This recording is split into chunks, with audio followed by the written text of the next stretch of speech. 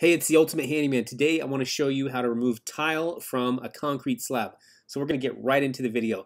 First thing we're going to have to do is we're going to get a hammer and we're going to start hitting each one of the tiles so we can put some fractures in the tiles. This is going to help to loosen the bond between the tile and the uh, concrete subfloor.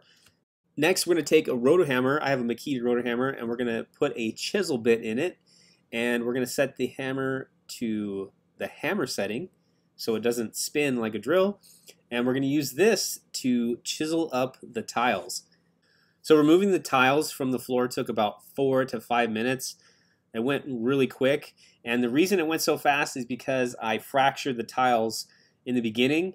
If you're not going to fracture the tiles, it makes it a lot harder to chisel them up even with the rotor hammer. So always fracture the tiles with a regular hammer beforehand.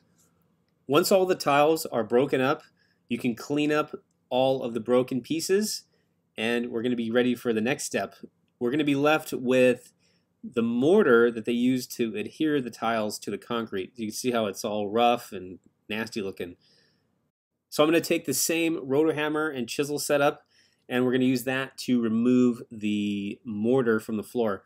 And I like to put a little bit of pressure downward into the concrete slab because the concrete is much harder than the mortar.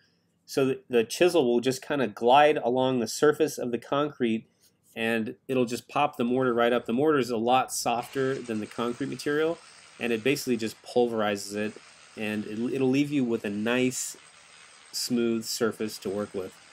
Once all the mortar's chipped up, you can go ahead and sweep everything out of the room and then vacuum up all the dust with a shop vac. If you found this video helpful, can you do me a huge favor? Can you please like, share, and subscribe to my channel? I'm trying to get the channel to over 10,000 subscribers, and I could really use your help to get there. Also, hit the bell for notifications so you don't miss out when I post my latest how-to videos. And with that said, I want to thank you for watching, and I will see you the next project. And oh yeah, check out my other videos right here.